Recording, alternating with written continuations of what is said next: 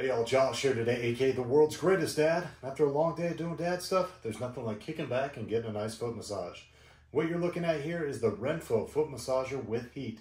Today we're going to unbox this bad boy, show you everything you need to know about it, and see if it might be something you need as well. So with that being said, let's get it. So let's go ahead and start from the beginning. When you pick this thing up, it's going to come to you in a box just like this. Let's get this bad boy opened up and see what we're working with.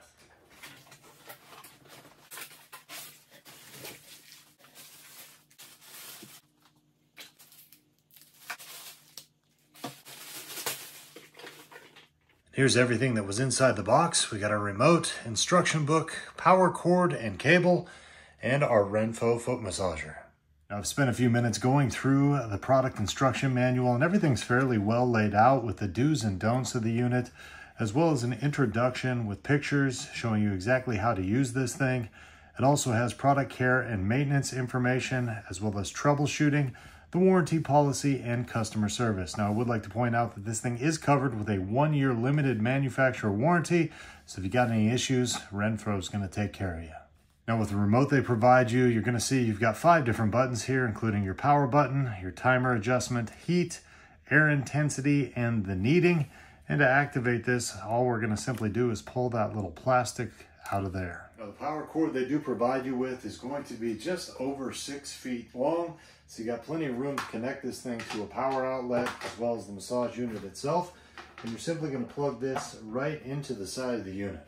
So now let's go ahead and go over all the settings and functions of this foot massager, starting right here in the middle with our power button. The blinking red means it's not turned on. We go ahead and hit that button. It's going to turn everything on the lowest setting. Now over here on the left-hand side, you'll see our timer option. Basically, you got two settings here. The red, which is going to be set for 15 minutes, or the blue, which is going to be set for 30 minutes. We move on down the line over here to the knead intensity, and basically you got four settings. You got low, medium, high, and off. Now we move on over here to the air intensity. Same thing, low, medium, high, and off. And then finally over here on the right hand side is going to be our heat option.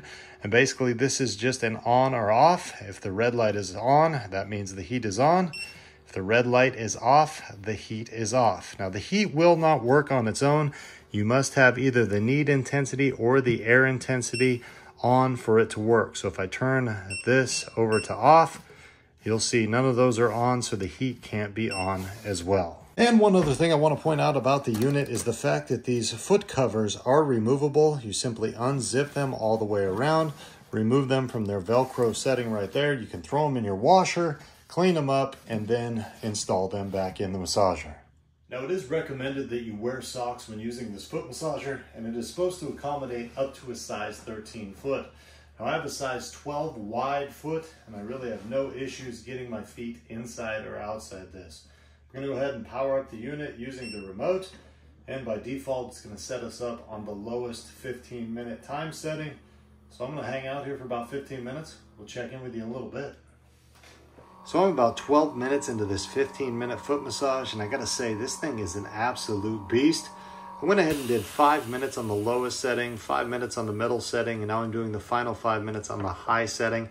I've had the heat on the whole time. It really took about seven to eight minutes for this thing to really get cooking, but now my feet are super nice and toasty.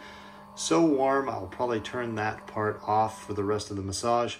Overall, I've thoroughly enjoyed the low, the middle, and really liking this high setting right now as well. So we went ahead and did about 20 minutes. Let's go ahead and turn this thing off. And man, that thing feels pretty darn good. Now after unboxing this bad boy, fully checking out the features and giving it a full test, I gotta say this is probably one of the coolest products that I've got in the mail in a long time. So let's go ahead and close this out with my three takeaways. Number one, I love the fact that this offers heat along with the massaging function. Now this wall right here is an exterior wall in my office and I live in a pretty cold climate. So during the winter, we can get a little draft in there. This thing's gonna be awesome under my desk. Just put my feet in, get a nice massage, warm my feet up, and I'm good to go.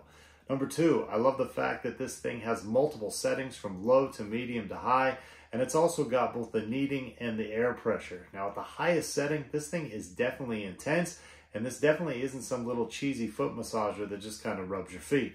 And number three, I love the fact that Renpho stands behind their product and they're giving you a full one year warranty with great customer service. So if you got any problems with this thing, get a hold of them and they'll get you taken care of. It's for those reasons and more, I'm easily giving this Renpho foot massager a world's greatest dad thumbs up and I say, go out and get you one. Hey, one more thing before you go. I want to let you know that the Renpho company is a big fan of the world's greatest dad's in-depth and informational videos. Therefore, about a month ago, they reached out to me and asked me if they could send me this foot massager for video review purposes. Now, with that being said, all the thoughts and opinions expressed in this video were my own, and I always do my best to accurately describe any product I review. Now, I hope this video helped you out. We'll see you next time.